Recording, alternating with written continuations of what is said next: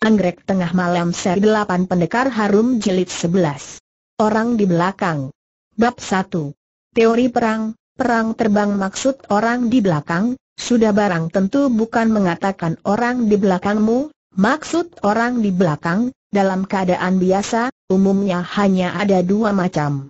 Jika yang kau maksudkan adalah seseorang di belakang Chuliuk Siang, maka orang yang ini, jika bukan anak Chuliuk Siang, pasti adalah cucu, buyut, cicit, piut atau canggah. Dan generasi ketujuh, delapan, sembilan dan sepuluh yang disebut canggah atau cucu emas. Yang kita maksudkan dengan orang di belakang sekarang ini, bukan dari jenis ini. Orang di belakang yang mau kita bicarakan sekarang ini, hanyalah orang-orang yang hidup bertahun-tahun di belakang zaman hidupnya Chuliuk Siang. Dua orang. Dua orang ini, ialah orang yang sudah kita sebutkan di depan, seorang tua yang berpengetahuan dan juga berpengalaman, yang lain ialah seorang remaja yang sangat kaya dengan keinginan mencari pengetahuan. Yang tua kurus singset, yang remaja sangat cakap dan sangat menyenangkan. Sebuah dipan kuno, sebuah ranjang besar, sebuah bangku pendek, seteko teh, segentong arak, dua buah bantal anyaman bambu hijau, serta dua orang. Kedua orang ini, sudah tentu adalah kedua orang yang kita sebutkan tadi. Yang tua minum teh, yang remaja minum arak. Remaja ini bahkan sama dengan Chuliuk Siang, minum arak seperti minum teh saja. Siapakah dia Seng remaja ini? Seng remaja bertanya kepada yang tua. Aku tahu pertempuran itu di kemudian hari disebut sebagai perang terbang, karena aksi sekali itu adalah aksi mengat terbang, hal-hal lain yang berkaitan dengan pertempuran pertama, semua orang memiliki mata elang, sayap Garuda, gesit walet, tepat anak panah, katanya. Elang, Garuda, walet, anak panah, semuanya bisa terbang, karena itu pertempuran itu disebut sebagai perang terbang, perang terbang? Bukan perang? Yang tua tersenyum. Mungkin yang kau ketahui belum cukup banyak, katanya kepada Seng remaja. Terhadap perang itu, diketahui ada dua macam pendapat dua pendapat yang mana terbang melayangnya terbang adalah terbang, bukannya terbang yang bukan-bukan, kata yang tua. Peperangan itu adalah perang terbang dan bukan perang, sampai dengan hari ini belum pernah ada orang yang bisa memberikan suatu kesimpulan tetap, bukan perang Seng remaja terkesima. Maksud bukan perang, apakah dimaksudkan perang itu bukan perang? Betul, yang diartikan tidak perang, sudah tentu ialah bukan perang. Pertempuran yang menggetarkan langit dan menggemparkan bumi itu, diketahui seluruh dunia, bagaimana bisa dikatakan bukan perang tanya Seng remaja. Maksud perang ialah, saling berhadapan ketajaman, saling berebut menang kalah, kata yang tua. Akan tetapi perang itu, sama sekali tidak memperebutkan menang kalah, mengapa karena perang itu masih belum dimulai, nyatanya sudah ada satu pihak yang terkalahkan, pihak yang terkalahkan itu seharusnya bukan pihak siang si sudah tentu bukan, yang tua tertawa. Kau harus mengingat satu hal, ada orang tertentu yang selamanya tidak pernah terkalahkan, waktu hidup tidak kalah, waktu mati juga tidak kalah, sudah tentu Chuliuk Siang adalah orang yang demikian itu. Yang tua memberi toseng remaja lagi. Di dalam rencana Lan Hwak Sian Seng, Chuliuk Siang sudah dalam posisi orang yang pasti mati, muncul mati, tidak muncul pun juga mati, aku juga tahu memang demikian adanya, akan tetapi dia salah, Oh, oh rencana ini secara keseluruhan mengalami kegagalan total sampai ke dasar-dasarnya, mengapa karena di dalam aksi kali ini, jika saja Chuliuk yang betul sudah mati, maka aksi ini sama saja dengan tidak melakukan aksi, kata yang tua. Aksi yang tidak melakukan aksi, dikatakan apa ya babi, kata si remaja. Seekor babi yang gagal, yang tua tertawa. Yang kau katakan sangat bagus, dia tertawa besar. Apalagi tahun ini tahun babi, tawa di wajah yang tua cepat berubah menjadi semacam sikap serius. Akan tetapi di dalam aksi kali ini, jika Chuliuk Siang belum mati, tidak usah diragukan lagi dia sudah pasti menang, mengapa karena ada satu butir kunci kecil, yang tua berlagak misterius, tidak membiarkan Seng remaja mendahuluinya. Satu butir masalah kunci kecil, yang kecil dan sangat kecil sekali, untuk sementara aku tidak akan memberitahukanmu, Seng remaja tidak memberikan reaksi, hanya bertanya, setelah itu, apakah Siang Si berhasil menolong dan menyelamatkan kedua orang itu sudah tentu berhasil menyelamatkan mereka, kata yang tua.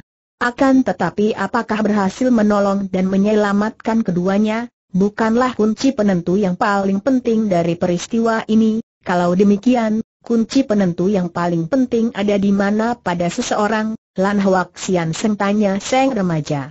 Apakah betul Lan Huak Sian Seng sudah tentu betul, ini baru benar titik butir yang paling penting.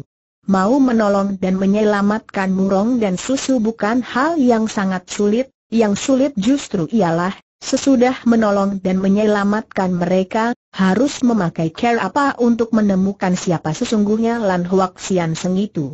Apabila aksi mengat terbang ini gagal, bukan mustahil Lan Huak Sian Seng segera tahu dan segera juga memutuskan hubungan dengan organisasi ini. Bukan saja besar kemungkinan, bahkan suatu keniscayaan besar kata yang tua. Andai kata dia dan organisasi yang ada hubungannya dengan peristiwa ini lepas hubungan, maka orang ini serta-merta akan lenyap dari dunia ini selamanya, dan akan sepertinya tidak pernah ada sejak dahulu, akan tetapi dia memang pernah ada, bahkan pernah melakukan banyak kejadian yang sangat menyeramkan masyarakat. Karena itu, kita tidak boleh membiarkan dia lenyap selamanya, dan harus menemukan dan menggali dia keluar sampai ke akar-akarnya, betul, kata yang tua. Apa yang kau katakan biasanya memang sangat beralasan, dia tersenyum melihat Seng remaja. Masalahnya sekarang tinggal dengan care bagaimana kita baru bisa menggali sampai ke akar-akarnya itu Seng remaja terdiam. Dia tidak bisa menjawab, karena memang suatu hal yang tidak bisa dijawab. Kata yang tua, Lan Hwak Sian Seng berupaya sangat keras sekali, menutup-nutupi jejak kegiatannya, dengan tujuan untuk melindungi dirinya sendiri, dan seandainya dia mengalami kegagalan dengan rencana sempurnanya, yang seharusnya tidak bakal meleset itu, dia masih tetap bisa meloloskan diri dengan suatu keutuhan, kelihatannya, tidak bisa diragukan lagi, dia memang seorang yang sangat berhati-hati dan cermat, itu sudah pasti, kata yang tua kepada si remaja. Semua tokoh yang paling hebat di kolong langit ini hampir semuanya memang demikian, akan tetapi dia masih punya titik kelemahan oh, oh orang yang punya titik kelemahan, tidak bisa dihindarkan pasti juga berbuat kesalahan, sekalipun bukan kesalahan fatal, paling sedikit masih juga ada sebuah jalur untuk penyelidikan, kata si remaja. Jika ada jalur untuk penyelidikan, maka sudah pasti bisa ditemukan, masuk akal, kata yang tua. Hanya yang disayangkan, aku belum tahu di mana titik kelemahannya, ada di tengah malam, ada di Lanhwa, ada di tengah malam, ada di Lanhwa, yang tua menghela nafas. Kau mengutarakan dengan baik sekali, sayangnya aku masih belum mengerti, tengah malam artinya sekitar Zisi, jam 23.01.00, ini ku mengerti, yang tua juga tertawa. Arti Lanhwa sudah tentu aku juga mengerti. Semua ini mudah dimengerti, hanya yang tidak ku mengerti, mengapa kau sampai mengatakan itu titik kelemahan bagi orang misterius itu sekalipun ada sedikit nada suara yang menunjukkan teguran dan cemoohan orang yang lebih tua yang penuh kasih sayang kepada generasi lebih muda, tapi Seng remaja tidak terlalu ambil pusing. Seng remaja itu tidak melakukan kesalahan bicara ataupun kesalahan bertindak di hadapan yang lebih tua. Kecuali dia tidak bicara dan tidak melakukan sesuatu apa pun. Siapa orangnya yang tidak berbicara dan tidak melakukan sesuatu di hadapan yang lebih tua? Jika dia bukan Junzi, Kuncu sama dengan orang budiman, palsu yang sangat luar biasa cerdas, maka dia tentu hanya orang dungu, atau orang bebal. Kabar angin dunia Jiang Hu mengatakan, semua mengatakan dia baru akan muncul saat tengah malam di bulan purnama, waktu muncul, selalu membawa kesir bau bunga anggrek, katanya. sama dengan Xiangxi yang waktu hadir selalu membawa bau harum sejenis bunga tulip, Yeu Jin Xiang, betul, kata yang tua. Kabar angin Jiang Hu, betul begitu, bau wangi semacam Lan Hoa ini, bahkan belakangan sudah mendekati ketenaran harum bunga tulip Xiangxi, maka justru mila titik kelemahannya, kata Seng remaja. Waktu namanya tenar, akan menjadi beban yang harus dipikul, namanya makin terkenal, makin berat buntalan beban yang harus dipikul, katanya.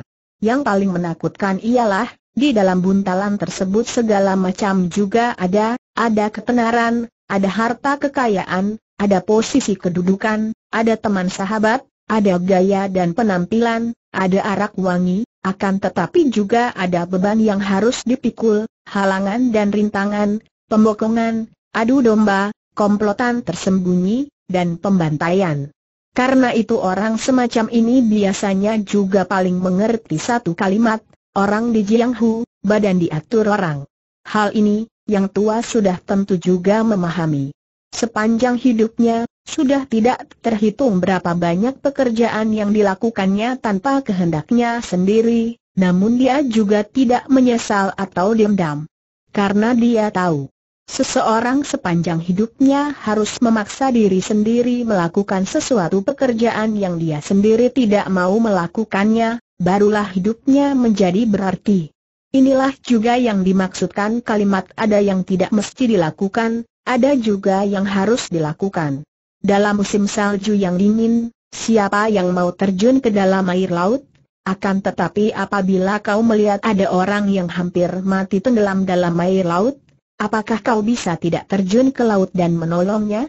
Seng remaja kemudian melanjutkan dan berkata, sebagian besar orang di Jianghu juga tahu, Lan Huan Xian Seng yang ini, biasanya sangat ramah dan sopan, akan tetapi jika sudah tiba tengah malam bulan purnama, dia segera berubah menjadi orang lain. Hal ini yang tua juga tahu. Pada tengah malam di saat bulan purnama, banyak orang menjadi gila, ada yang bangkit nafsu birahinya, ada yang melakukan perbuatan kekerasan melanggar hukum, bahkan ada yang membunuh orang. Akan tetapi orang-orang di Jianghu juga tahu, waktu Lan Huak Sian Seng muncul, sama seperti Chuk Siang Si saja mengapa bisa sama seperti Chuk Siang Si saja? Sebab ketika Chuk Siang Si muncul, selalu akan membawa semacam bau harum yang ringan, kata Seng remaja. Lan Hwak Sian Seng yang ini, tidak peduli muncul dalam kesempatan waktu apa pun dan di mana pun, selalu akan membawa bau harum semacam bunga anggrek. Yang tua jadi tertawa.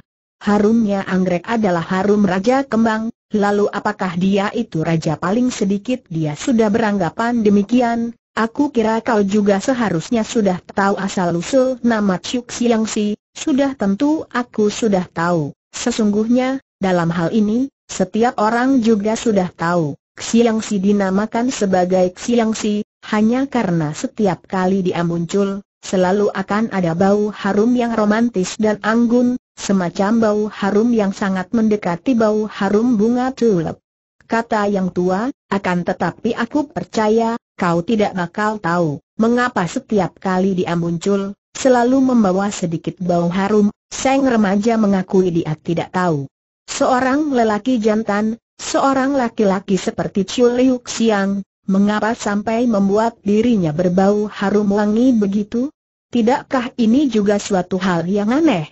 Seng remaja tidak tahan bertanya, Mengapa dia mau melakukan begitu karena dia seseorang yang sangat mencintai diri sendiri, bahkan punya kegemaran pada kebersihan, kata yang tua. Bagaimanapun dia tidak akan membiarkan orang meninggalkan kesan jelek atas dirinya, ini adalah suatu keniscayaan, kata Seng remaja. Seseorang harus menghormati diri sendiri, baru mungkin orang lain menghormati dirinya. Satu hal yang paling tidak disukai Xiang Si, ialah bau tidak sedap pada badan orang lain, orang macam ini siapa tidak benci karena itu Xiang Si paling takut ada bau badan pada dirinya yang tidak disukai orang lain, kata yang tua. Dia takut soal ini, karena dia sendiri tidak tahu apakah badannya sendiri ada bau yang membuat orang lain kurang senang bau badannya, karena itu dia mendatangkan dari negeri jauh semacam bibit parfum bunga tulip. Sang remaja mendadak menghela nafas, bertanya kepada yang tua, ini memang sebuah cerita yang aneh, kata yang tua, cerita ini menerangkan cinta dan sayang seorang manusia terhadap kehidupan dirinya sendiri, aku paham, cerita sejenis ini, biasanya hanya membuat orang bergairah, mengapa kau menghela nafas karena Xiangxi, oh, oh waktu dia masih hidup, dia sudah menjadi seorang yang legendaris, bukan saja seluruh dunia tahu, bahkan namanya masih dikenang hingga sekarang, kata Seng remaja. Sekarang aku baru tahu bagaimana ini terjadi. Bab 2 Kisah aneh Lan Hua bagaimana sebuah kisah aneh dibuat? Bagaimana seorang pahlawan dibentuk? Berapa banyak penderitaan yang dialami? Berapa banyak air mata dan darah yang dikucurkan? Berapa banyak menahan derita nestapa? Berapa banyak menahan diri? Sekalipun semua orang tahu peperangan berdarah itu apa, akan tetapi menahan diri dan mengendalikan diri barangkali juga agak sulit dipahami. Sekarang kita kembali lagi ke titik paling penting. Mengapa Lan Sian Seng setiap kali kemunculannya selalu disertai semacam bau harum yang menyita perhatian orang? Dengan wataknya, dengan kepribadiannya, dengan pekerjaan yang mau dilakukan, dia seharusnya sudah menghindarkan diri untuk tidak disoroti orang. Ini adalah titik kelemahannya, kata Seng remaja. Juga jelujur petunjuk bagi kita baru muncul ketika bulan purnama. Ini mempersempit wilayah pencarian terhadap dirinya, dan Harum Lanhwa, semakin menjadikan sasaran sangat spesifik dan jelas. Karena itu Seng remaja bisa mengatakan dengan begitu pasti. Ini adalah kelemahannya, juga jelujur petunjuk bagi kita. Karena alasan ini sama sederhananya dengan satu ditambah satu sama dengan dua, juga harus tepat seperti satu ditambah satu sama dengan dua. Akan tetapi apakah mutlak betul satu ditambah satu sama dengan dua? Yang tua mendadak tertawa. Kelemahan seseorang, seringkah adalah kelebihannya, suatu jelujur petunjuk yang sangat jelas, seringkah malah bisa membuat kau tersesat, dia memberi toseng remaja.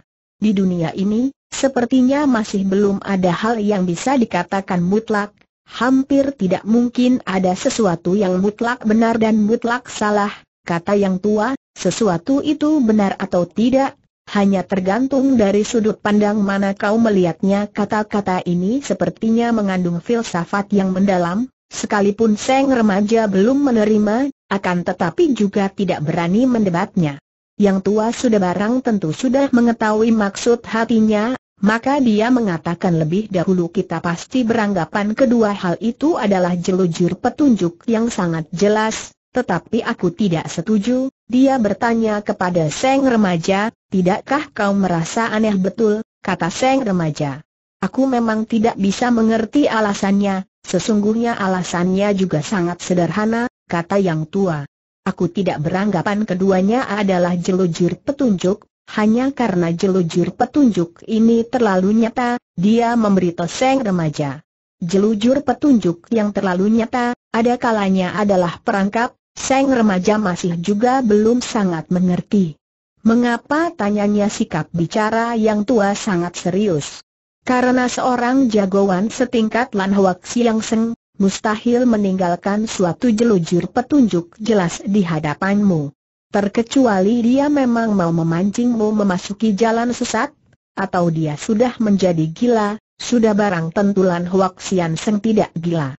Karena itu sangat mungkin Wu Yelan Hua hanyalah sebuah tabir asap yang dilepaskan, agar kau salah persepsi, agar kau memasuki jalan sesat, dan terperosok ke dalam perangkap, yang tua kembali menerangkan kepada Seng remaja. Misalnya dikatakan, kau menganggap dia hanya muncul pada tengah malam bulan purnama, dia sedang melakukan apa pada malam-malam lainnya? Sedang menanam bunga, bermain catur atau memetik kecapi? Ataukah sedang mencuci mangkuk piring, menyapu lantai dan memikul pupuk kandang seng remaja tercengang.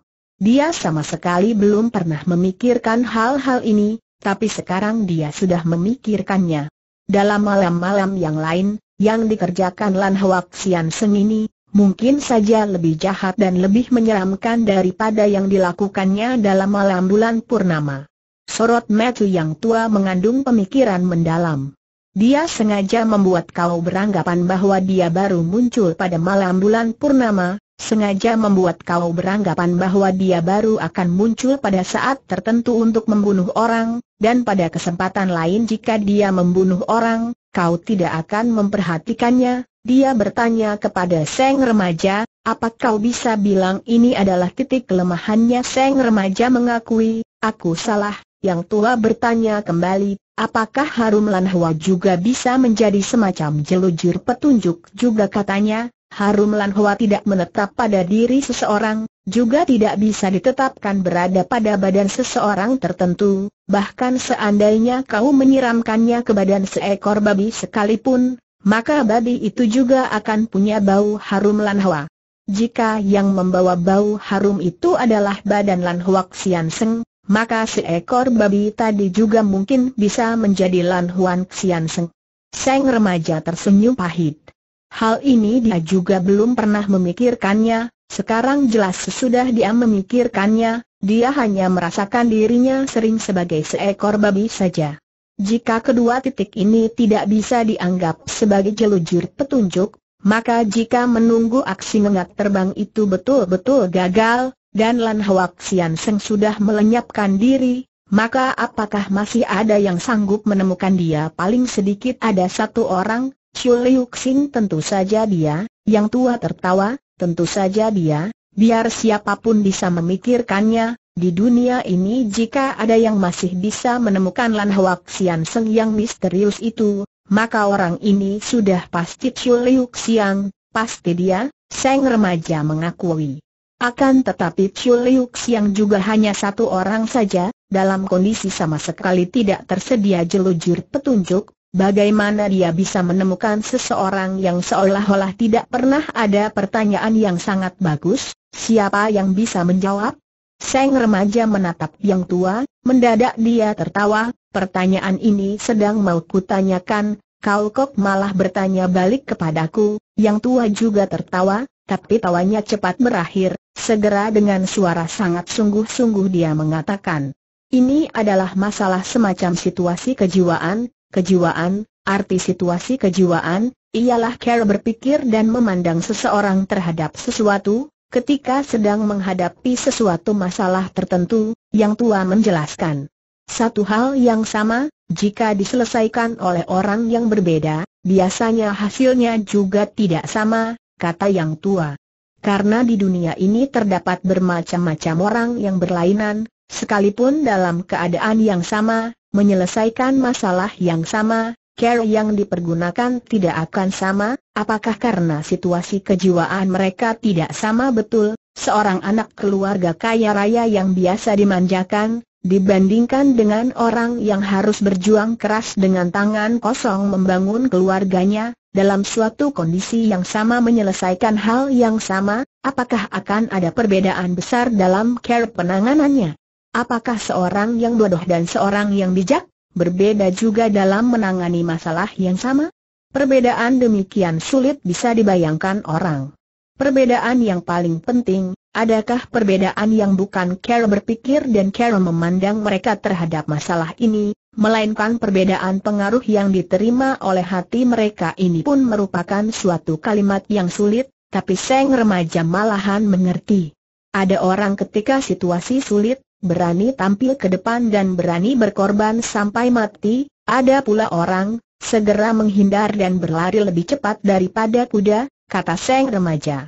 Ada sebagian orang kalah mengalami kekecewaan, segera menari, menyanyi dan mabuk-mabukan, ada juga orang yang mengacungkan lengan bertempur kembali, ada sebagian orang sama sekali tidak ambil peduli, ada juga orang yang malahan membenturkan kepala sampai mati. Mengapa begitu? Karena persepsi dalam hatinya tidak sama satu dengan yang lain. Seng remaja bertanya kepada yang tua, apakah ini semua merupakan suasana kejiwaan betul? Yang tua mengelus tangan. Memang demikian inilah. Bahkan rencananya seteliti itu, katanya, sekalipun rencana aksi ngengat terbang sudah menurunkan begitu besar tenaga manusia dan tenaga materi, akan tetapi jika sampai gagal sampai ke hal-hal yang mendasar, orang yang lain pasti menjadi kebingungan, ya gentar ya marah, bahkan bisa jadi melakukan taruhan terakhir, sebagian besar orang akan melakukan demikian, kata Seng remaja. Di dunia ini sebagian besar orang waktu menghadapi kegagalan total, bisa berubah menjadi seperti binatang yang terpojok, apakah ada kekecualian? Ada, tentu ada, ada dua macam, kata Seng remaja. Semacam yang bijak, semacam lagi jagoan, katanya, yang bijak tenang saja, jagoan dingin, yang bijak tidak berkeinginan, jagoan tidak berperasaan, penguasaan antara berhasil dan gagal, Tentu ada batas Fen dan Junnya, kau salah, kata yang tua. Yang terkecuali bukan dua macam, tapi tiga macam, yang satu macam lagi orang yang bagaimana orang bodoh, Seng remaja berpikir sejenak, kemudian segera mengerti. Betul, orang bodoh, kata Seng remaja. Karena mereka sama sekali tidak pernah berhasil, bagaimana bisa kecewa karena gagalan Huak Sian Seng tentunya bukan orang bodoh jagoan jenis dia, sekalipun gagal, juga tidak akan memasuki jalan buntu, yang tua berkata. Karena mereka tidak peduli bagaimanapun, pasti meninggalkan satu jalan keluar di belakangnya, dia menambahkan lagi, ketika dibutuhkan, mereka segera mengambil keputusan, cepat memutuskan seluruh hubungan dirinya dengan peristiwa yang menyebabkan kegagalan itu, dan menuju jalan yang sudah dipersiapkan sebagai cadangan itu, untuk melaksanakan pekerjaan yang lain, bahkan mengubah dirinya menjadi seorang yang lain, pada ketika itu, tengah malam juga sudah tidak ada, Lan Hua juga tidak ada, dan sejak itu dia segera lenyap, betul, yang dikatakan pahlawan menebas lengan, adalah dengan maksud ini, betul, kata yang tua lengannya sudah membusuk, apakah masih mau terus memegangi tidak mau melepaskan. Perkara sejenis ini mereka tidak bakal melakukannya, karena itu kau menyimpulkan, asalkan aksi ngengat terbang gagal, maka Lan Hwak Sian Seng segera juga bisa menghilang tanpa jejak lagi, tidak salah, aksi ngengat terbang sudah pasti gagal, bagaimana Xiang Si bisa menemukan dia kembali ini adalah simpul masalah sesungguhnya. Yang tua tersenyum.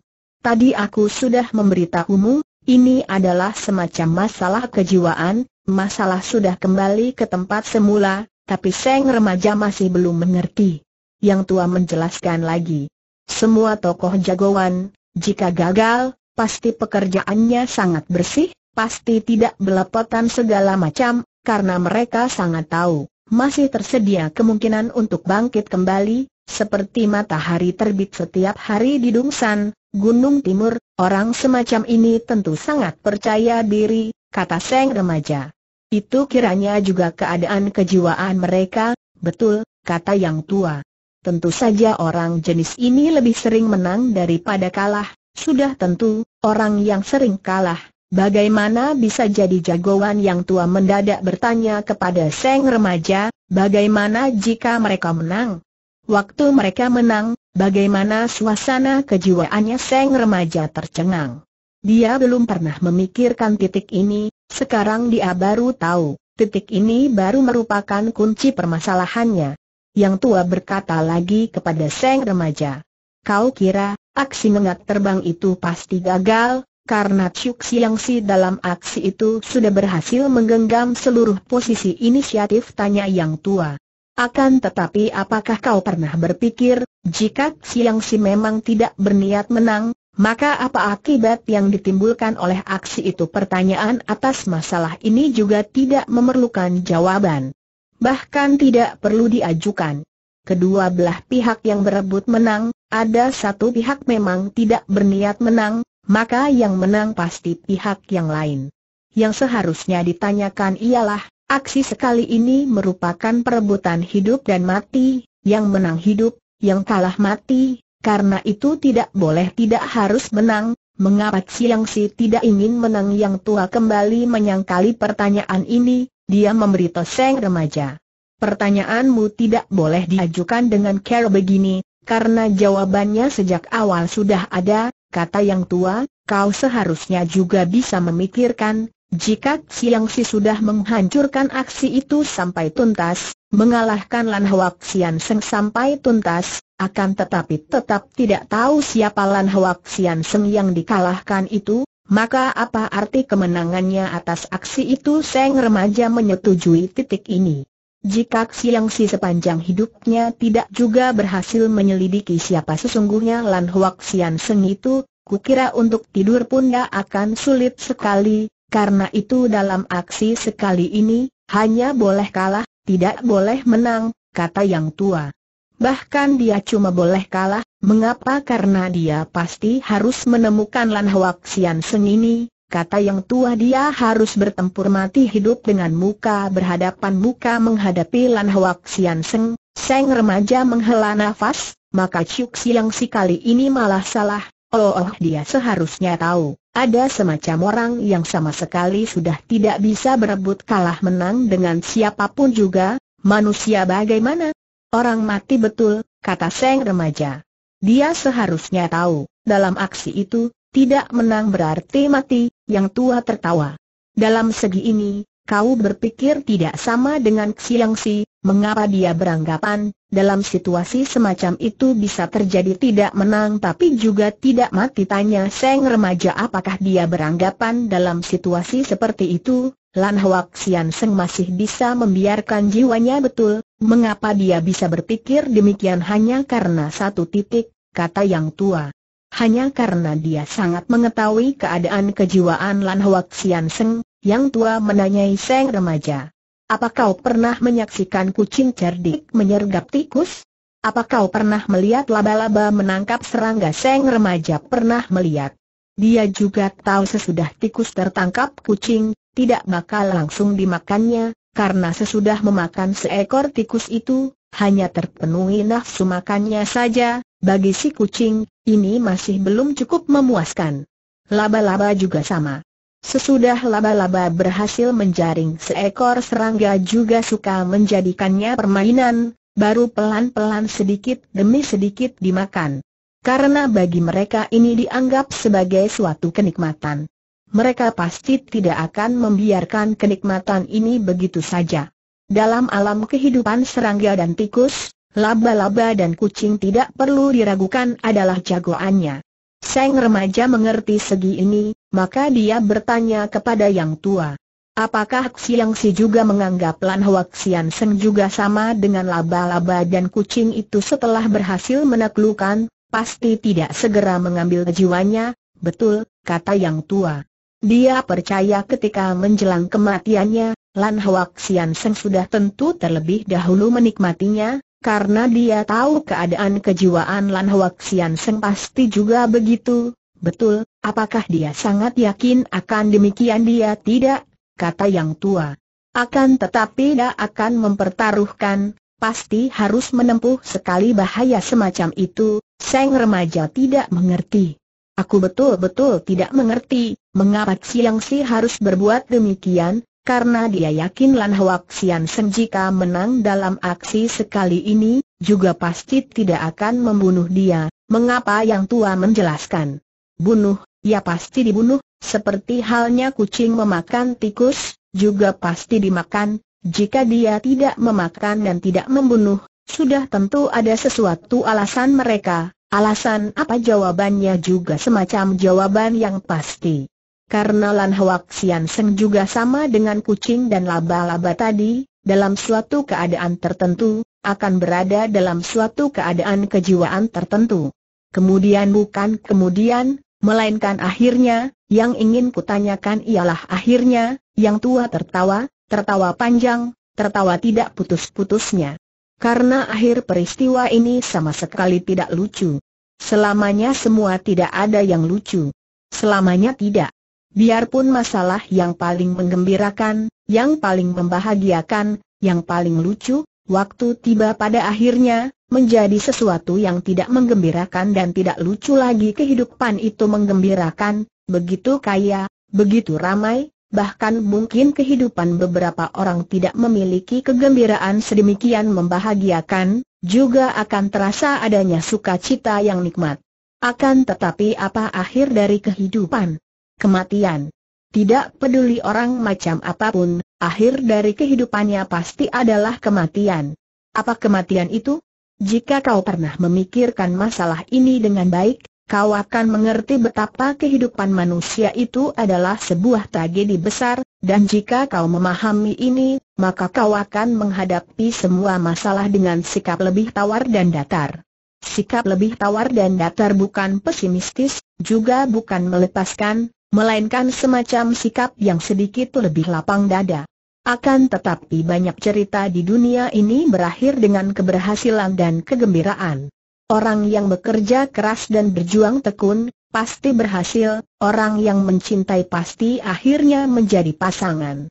Yang disayangkan sekali ialah akhir ini masih bukan suatu akhir sesungguhnya, dia masih baru sebuah tanda koma. Waktu tiba pada akhirnya, masih akan tetap sama saja. Oleh karena itu, ketika Seng remaja menanyakan kepada yang tua akhir dari situasi ini, yang tua jadi tertawa, karena dia hanya bisa tertawa. Pertanyaan ini diajukan dengan cara bodoh sekali, menggelikan sekali. Jika seseorang mau mengerjakan sesuatu pekerjaan, paling baik jangan menanyakan akhirnya, kata yang tua. Karena semua akhir, ketika betul-betul tiba pada akhirnya akan tetap sama saja katanya, karena itu, jika kita mau mulai mengerjakan sesuatu, cukup menanyakan, apakah ini harus dikerjakan, Apakah ada nilai untuk dikerjakan, waktu mengerjakan pekerjaan ini, apakah bisa memberikan kegembiraan bagi orang lain? Membuat diri sendiri bergairah. Karena nyawa kehidupan hanya berlangsung dalam suatu periode saja, sang remaja mengerti. Jika seseorang bisa mengerti hal ini, maka kehidupannya akan gembira, dan sepanjang hidupnya tidak dilewati dengan sia-sia, katanya, Aku percaya Chu Liu yang pasti orang yang paling mengerti masalah ini, karena itu, tidak peduli dia mengerjakan apa saja, pasti dilakukannya dengan sekuat tenaga, karena itu kehidupannya selamanya jauh lebih berarti. Akan tetapi di dunia ini, segala sesuatu apa pun masih memerlukan akhir, jika sudah ada permulaannya, maka harus ada akhirnya, tidak peduli apa pun juga tidak ada kekecualian. Karena ada nyawa kehidupan, maka sudah ada awal permulaan, ada awalnya maka ada akhirnya. Bagaimana jika tidak ada awal permulaannya? Tidak ada awal permulaan, berarti tidak ada segalanya, tidak ada nyawa, tidak ada suka duka, tidak ada manusia, juga tidak ada akhirnya. Apakah tidak ada akhir akan lebih bergembira? Bukan juga. Tidak ada akhir sendiri juga semacam akhir. Mungkin juga titik inilah yang paling menyedihkan. Tidak peduli bagaimanapun, dunia ini sudah mempunyai wujud bentuk, sudah ada nyawa kehidupan, sudah ada awal permulaan, sudah ada manusia, sudah ada suka duka dan jumpa cerai. Karena itu, setiap masalah selalu harus ada akhirnya. Aksi ngengat terbang kali ini juga tidak terkecuali, tentu, kata yang tua, sebagian besar di dunia ini tidak terkecuali, lalu, mengapa peristiwa ini seperti tidak punya akhir-akhirnya, hanya kau saja yang tidak mengetahui, kata yang tua. Di dunia ini barangkali hanya beberapa orang yang terbatas yang mengetahui bagaimana akhir dari peristiwa ini, mengapa karena ini adalah suatu rahasia dari yang paling rahasia-rahasia apa tidak tahu, kata yang tua. Kecuali beberapa orang terkait yang terbatas, di Jianghu, sampai dengan hari ini, sepertinya tidak ada yang tahu. Dia menambahkan, setiap orang dalam Jianghu semua tahu aksi sekali ini, akan tetapi tidak ada orang yang tahu akhirnya, karena itu, dia bisa disejajarkan menjadi salah satu dari empat peristiwa besar dalam sejarah selama seratus tahun terakhir. Betul, aku ingat Anda pernah memberitahuku, Peristiwa ini hampir bisa disejajarkan dengan peristiwa aneh atas Chen Lang. Betul, peristiwa aneh yang menyangkut Chen Lang, sudah lama beredar luas di kalangan Jianghu.